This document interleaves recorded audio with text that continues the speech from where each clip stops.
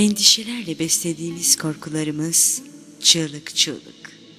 Bilinenleri bilmeyen bizler yalnızlığın korkunç yalnızlığındayız. Halka halka birbirine karışmış düşüncelerimiz. Korku karakteri miskinleştirir. Yükselme isteğini yıkar.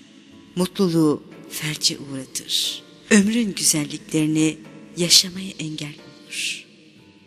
Sözlerimiz, gözlerimiz, gönüllerimiz. Beş almadan bir vermeyen nefisler.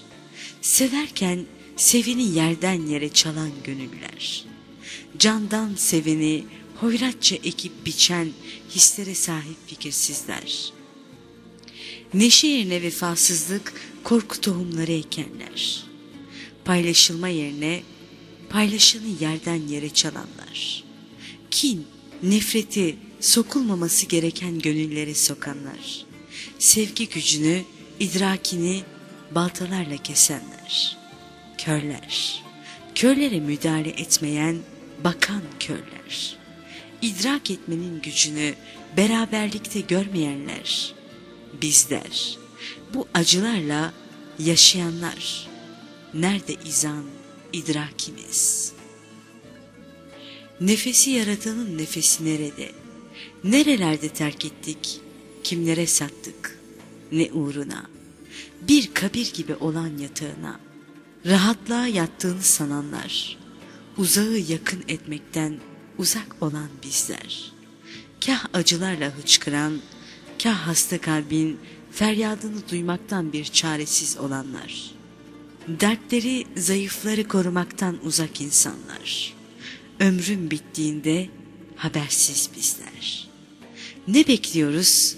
Kahrolmanın uçurumundayız, düşüyoruz. O duyduğum vuslatın sesi değil. Can haykırış uçurumlarda düşen bedenin korkunç sesi. Birazdan düşeceksin. Paramparça olacak bedeninin sesi. Aklın, idrakinin sesi. Duy, hisset.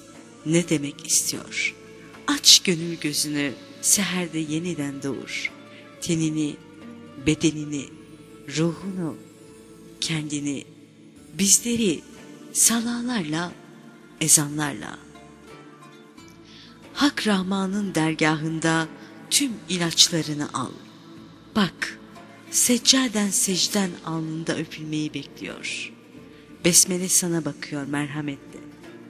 Al diline her an, an zikirle. Varlığındaki Rahman'ın sesine kulak ver. Görevin budur. Dünyaya geliş budur. Gerisi abeste iştigel fasafisodur. Eser Mehmet Avuç